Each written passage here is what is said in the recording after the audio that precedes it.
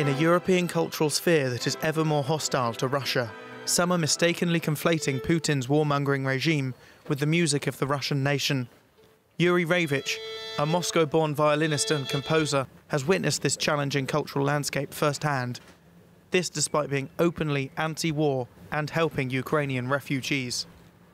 I feel like nowadays people just like to put everyone in one box, and if I have a first name which sounds Russian, they'll just see me as uh, Russian without any taking in consideration what I'm doing. I had a concert in France cancelled already.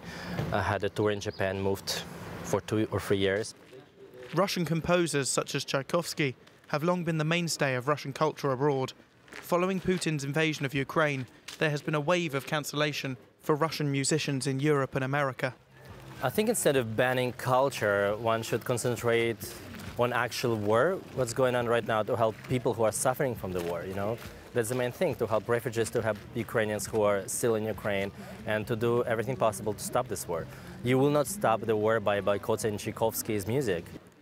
Yury now cannot go back to Russia, having been vocal in his support of anti-dictatorial movements, such as the Oslo Freedom Forum, but says his main concern is for dissident musicians at home in Russia.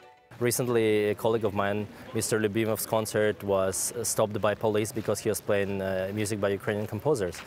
You know, and but he still keeps on playing it, and we need to support these people who are doing anything what they can, you know, to raise awareness and to protest in Russia despite all these crazy laws which actually stop the people from protesting.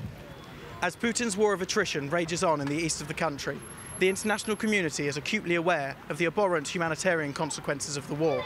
But it remains to be seen how Russian society may be affected at home and abroad by these changes.